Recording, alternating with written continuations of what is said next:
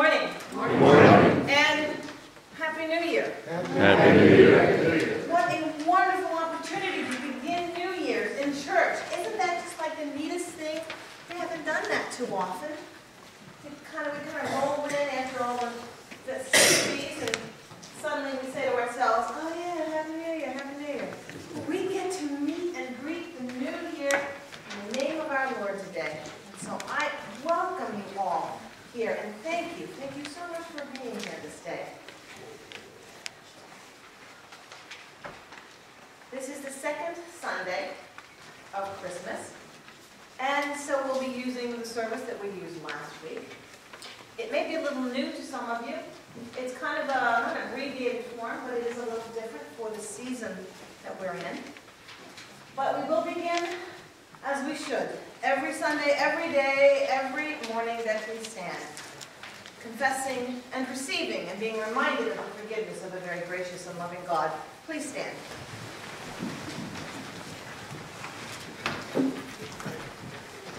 Blessed be the Holy Trinity, one God, the maker of heaven and earth, the Word made flesh, the Lord and giver of life. Amen. Let us confess our sin in the presence of God and one another.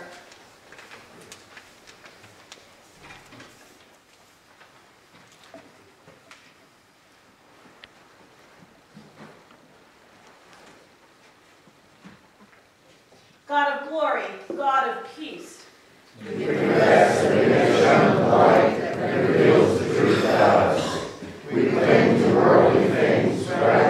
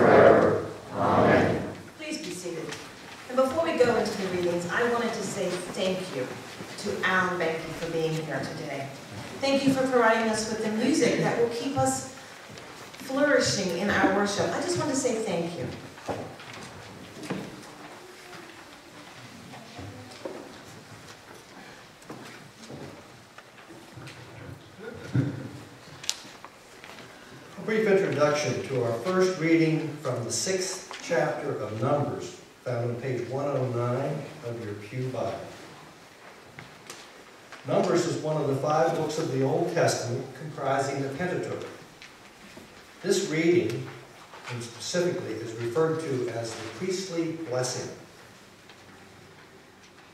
It is a strikingly anthropomorphic blessing that was probably to be delivered at public gatherings at the sanctuary. Uh, that big word refers to simply assigning human characteristics to a non-human, God in this case. And now the reading from the sixth chapter of Numbers, verses 22 through 27. The Lord said to Moses, Tell Aaron and his sons, this is how you are to bless the Israelites. Say to them, The Lord bless you and keep you. The Lord make his face shine on you and be gracious to you. The Lord turn his face toward you and give you peace. So they will put my name on the Israelites, and I will bless them. The word of the Lord. Thanks be to God. We will now read responsively Psalm 8, following page 338 in your hymnal.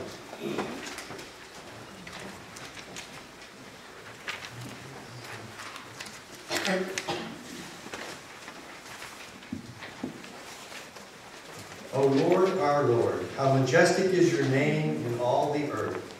When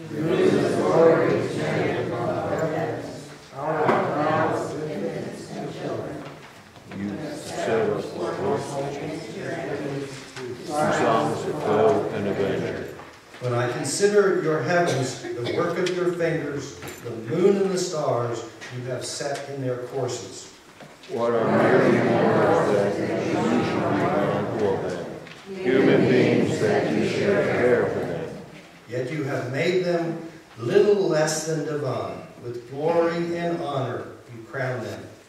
You have made them rule of the works of your hands. You have put all things under their feet. All flocks and cattle, even the wild beasts of the field. The birds of the air, the fish of the sea, and whatever passes along the paths of the sea. O Lord, our Lord, how majestic is your name in all the earth.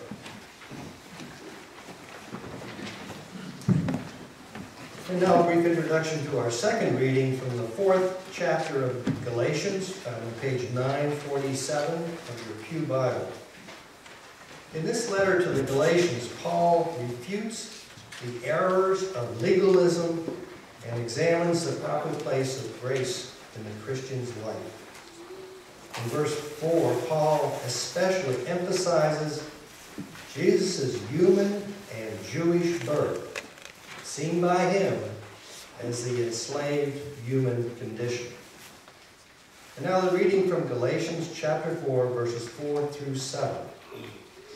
But when the time, but when the set time had fully come, God sent his son, born of a woman, born under the law, to redeem those under the law, that he might receive adoption to sonship.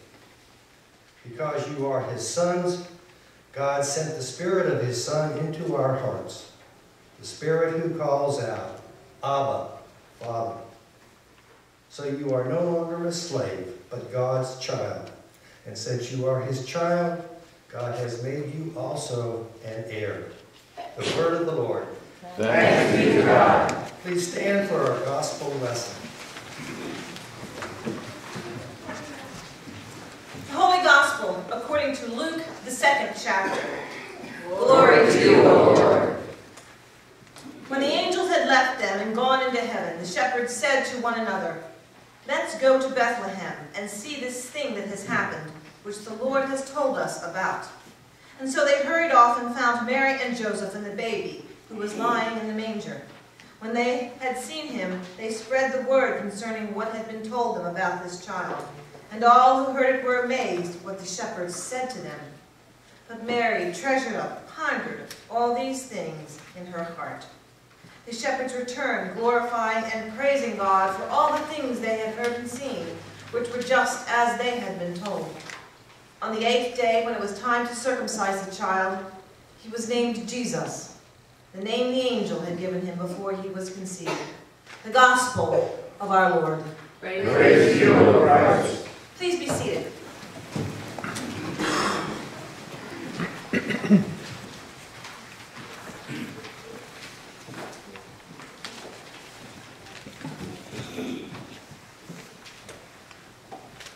have a problem. There are some texts that I think, when preached and proclaimed, cause us to ponder. And so I'm going to put you to work the next 30 days. But I'm going to begin by asking you to ponder something this day. And so I come to you as I do on occasion when I believe this to be a very thoughtful text. I'm asking you to ponder at the name of Jesus, what do we do? Text today was about shepherds and Christmas, and we probably all been cookie, cookie, cook- Christmas cookie out, and we probably are about finished with the story. But the last verse is the important one for this day, and it is the naming of Jesus. But at the name of Jesus, what do we do?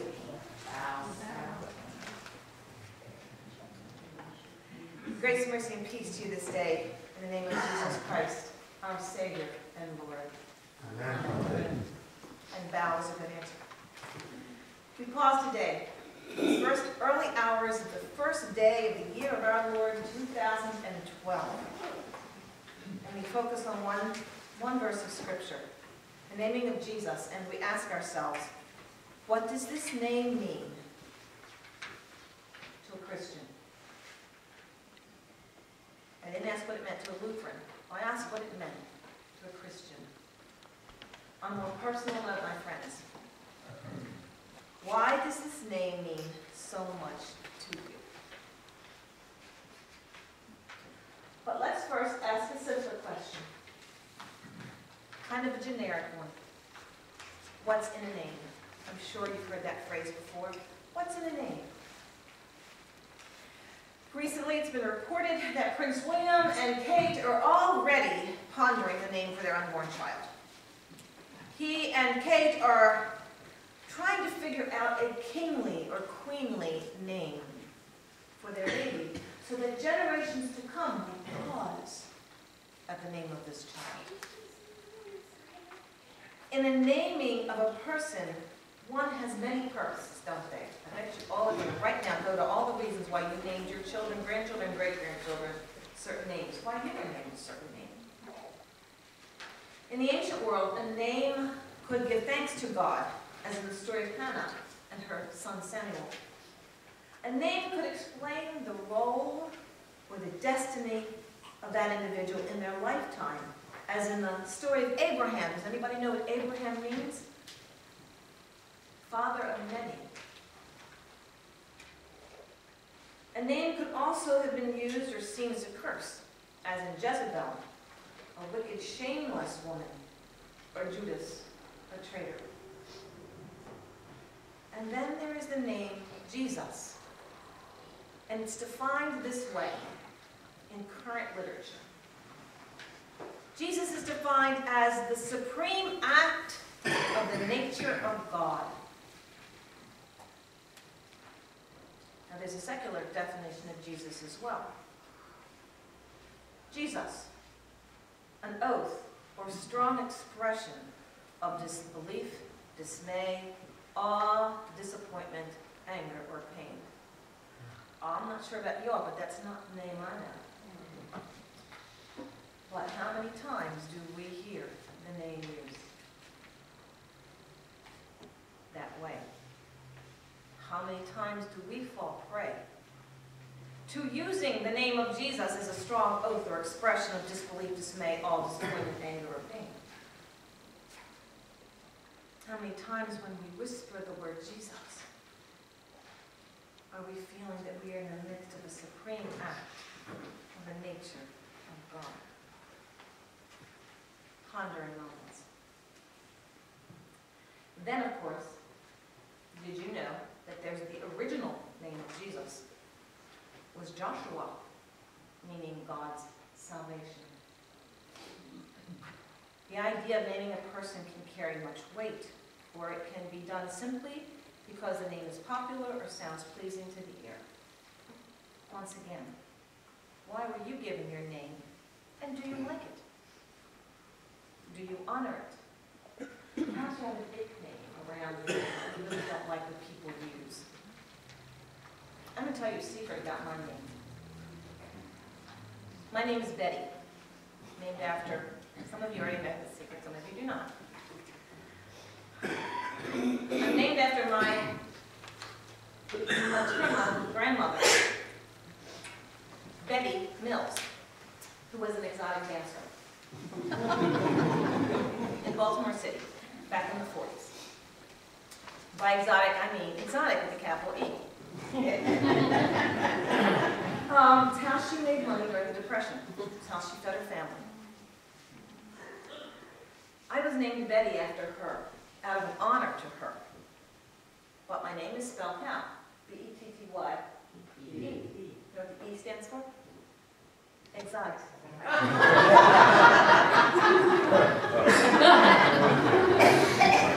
There's nothing quite exotic about me at the moment.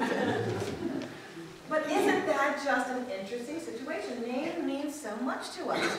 Do we honor names? Do we honor the names of Jesus? Now, Elizabeth is also the name of a Hungarian religious mystic. So I guess somewhere between religious mystic and exotic, we find Betty with an E. But today, all kidding aside, all thoughts aside, we focus on one name and we ponder one name. Name that is above all names, Jesus. And I ask you the question, at the name of Jesus, what do you do? How do you respond? A little research led me to these facts. In the Holy Scripture, there are 198 names or titles for Jesus. Originally, in the earliest writings of Scripture, the earliest Hebrew, Aramaic writings, Jesus' name was pronounced Yehoshua or Joshua. It was not until the Latin translation of the sacred scriptures back in the fourth century, it's a writing called the Vulgate, and uh, the Vulgate became the official translations of uh, Holy Scriptures by the Catholic Church. Did we finally get to the word Yeshua, or Jesus, as our Lord is called today? So even Jesus had his time with his word sounding differently, but always meaning the same. The word, the name Jesus, however, is more to us than just a sequence of vowels and letters, isn't it? The name Jesus itself includes an intrinsic divine power. And when the name of Jesus is spoken or displayed, the power of Jesus is called upon. Have you ever thought of that? Have you ever thought about what it meant? Have you ever been in situations where you have truly called upon the name of Jesus, recognizing and hoping for that intrinsic divine power that just the utterance of his name brings?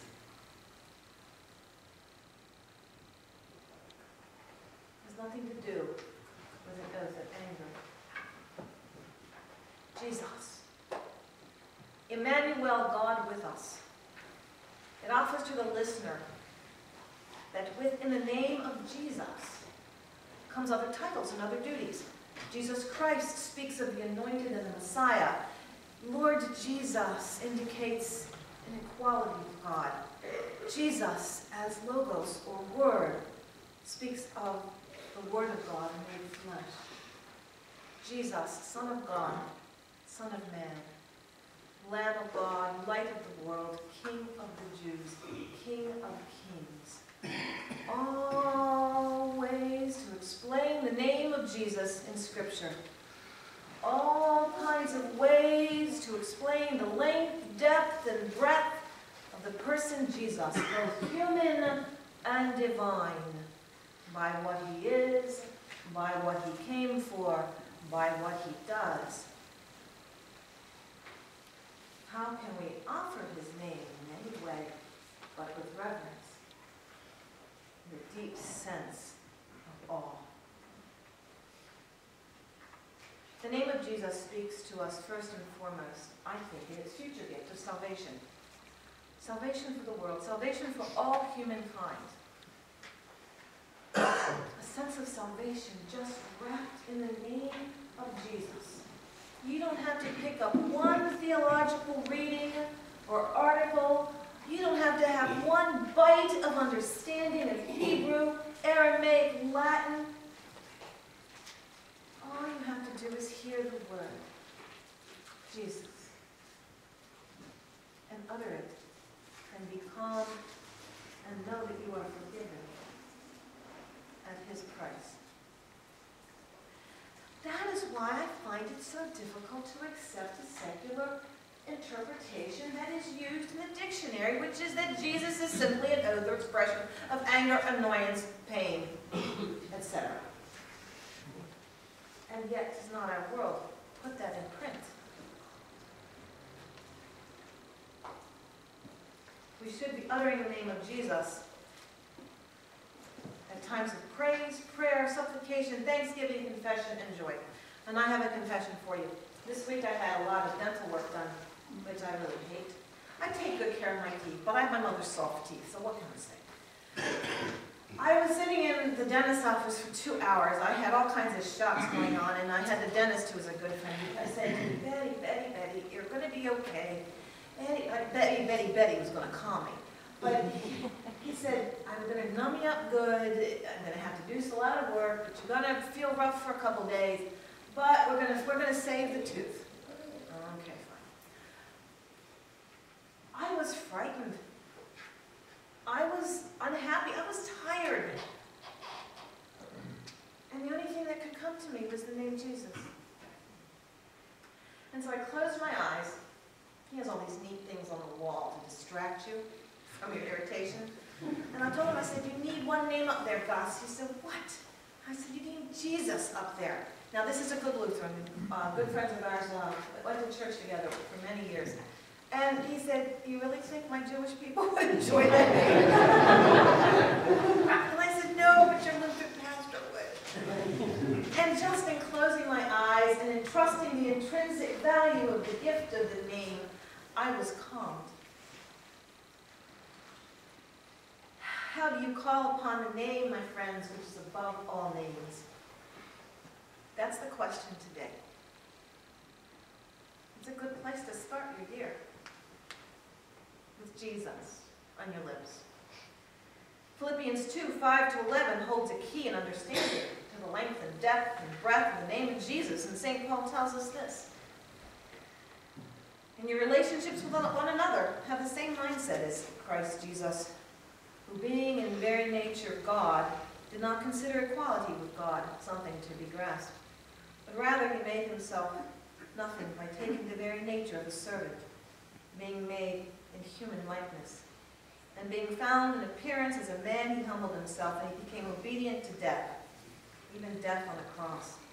And therefore God highly exalted him to the highest place and gave him the name that is above all names, that the name of Jesus every knee should bow in heaven, on earth, and under the earth, and every tongue confess that Jesus Christ is Lord, for the glory of God the Father. Or, and it took me a while to find this next text, this next writing, but I, but I was bound determined because it's the thing that runs through my mind at anxious moments. I'm sitting in the dentist chair for two hours. My father um, trusted the, the hymnody of the Lutheran Church and the Episcopal Church. He was Episcopal. He was in Episcopal choir most of his youth. He one, had a wonderful voice.